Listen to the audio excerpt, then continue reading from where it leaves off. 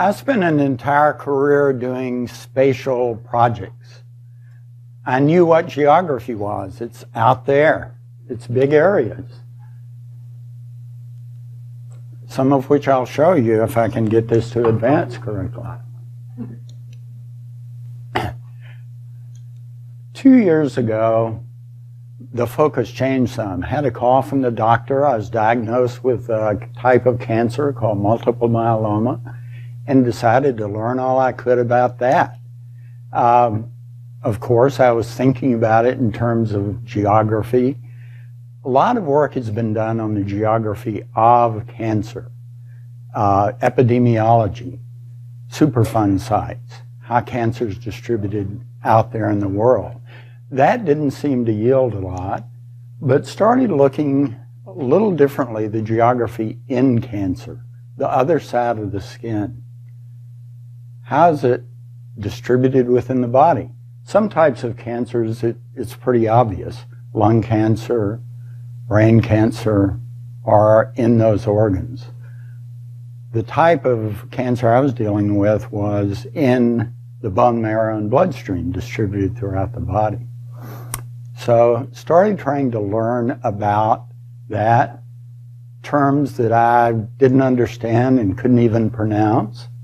But in looking at research, I kept seeing these terms that were very comfortable. Location, place, proximity, stuff that I was used to hearing about and dealing with in these projects.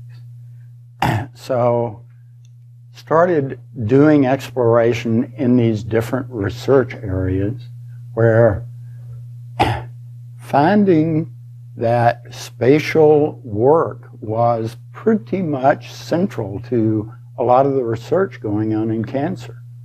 Uh, surprised me a little bit, but it was in a way comforting and gratifying to know that there was such a strong spatial element out there and all of these things happening within the human body.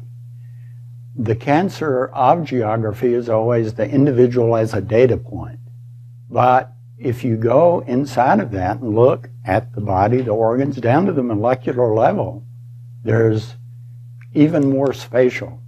And then to me, the ultimate was this quote in recent research. Yes. Dr. Tobler, you might be familiar with this concept. Uh, all of us should. Where does all this lead? I think spatial sciences has a lot to contribute to medicine.